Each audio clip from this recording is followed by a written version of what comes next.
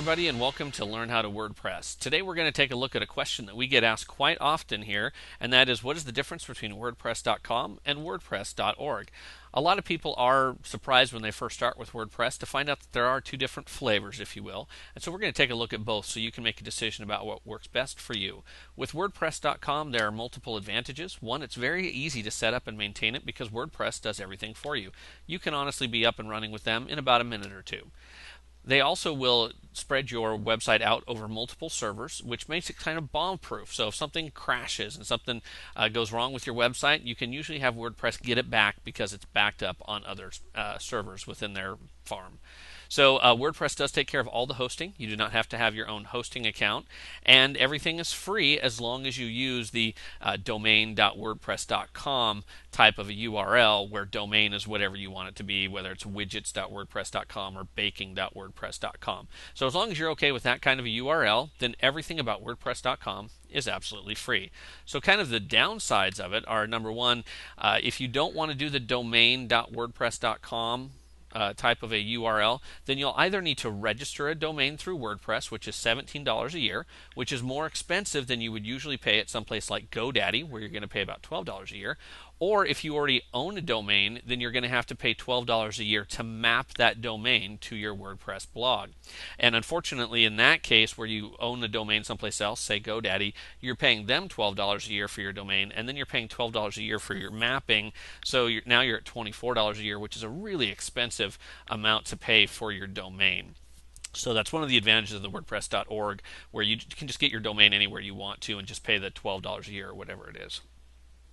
Also, and this is a major one, no plugins with WordPress.com. One of the strengths of WordPress is the ability to add extra functions to your website by adding plugins. They're just plug and play types of programs, generally speaking. Uh, things like if you want to add a Twitter feed or a Facebook like button, add an extra contact form, or maybe have a sign up form for a newsletter, or to run ads, or things of that nature. All of that can be done through plugins, but you cannot do that on WordPress.com.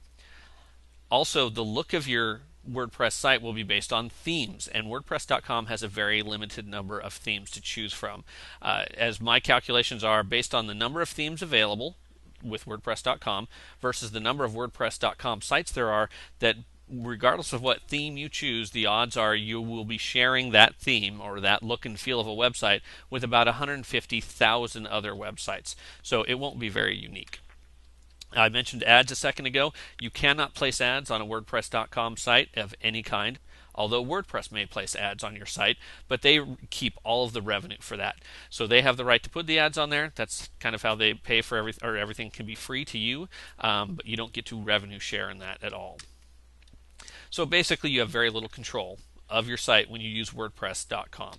With WordPress.org, the advantage is thousands of plugins. I've already talked about that, but adding functions to your website are very simple through the use of plugins, which are allowed. There are thousands of premium themes out there, so you're not limited to the themes on WordPress.com. There are thousands and thousands of premium themes that are going to run in price anywhere from 30 to $80, but to have a phenomenal looking site right out of the box, it's well worth that price with WordPress.org, you really get to own your domain and brand. There is no domain.wordpress.com. You can go to any source you want to. We recommend GoDaddy to get a domain, and that can be the domain for it. So by keeping WordPress out of it, you really get to take full ownership of uh, the name of your website and the brand and things of that nature. You also control ads. If you want to monetize your site, you can put, uh, you can be it have affiliate ads or Google AdSense, uh, and revenue that is generated goes to you, not WordPress. So you have full control over your ability to to play place ads on your site if you wish to. Uh, generally speaking, unlimited storage for your site. That's really a, a function of your hosting account, but nowadays most hosting accounts offer unlimited storage. WordPress.com, you can only get 3 gigabytes of storage. Uh, so you really have nearly complete control over your site with WordPress.org. Uh, on the negative side, uh, you do need to get a hosting plan. We recommend GoDaddy. Uh, we like the way the service that they offer. They do spread your site over multiple servers, which protects it from crashes and losing everything that you worked so hard to put together. Um, and there is a link down below this video that will take you there. Uh, setup is more involved. You do have to set up a MySQL database within your hosting account. Uh, however, if you do use that GoDaddy link below this video and purchase at least a year's worth of hosting, which if you're serious about this site or blog that you're building, a year's commitment is a very small thing, uh, then we will set up your WordPress site for free so that you don't need to worry about that part of it and you can just jump right into using the site. And so you do also have to control spam and uh, and backing up your website. However, there are plugins that will allow you to automate that so that uh, you can rest easy that everything's taken care of.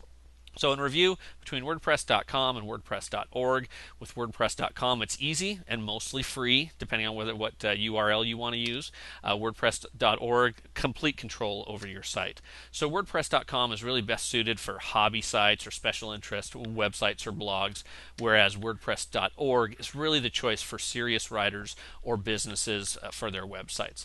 So, hopefully, this helped explain it. If you do have any questions, feel free to, to post them, and we're happy to answer them for you. Uh, most of the people people here at Learn How to WordPress do use WordPress.org because it really gives you the control and functionality that you need uh, for a truly spectacular website or blog. So thanks for watching. Have a great day.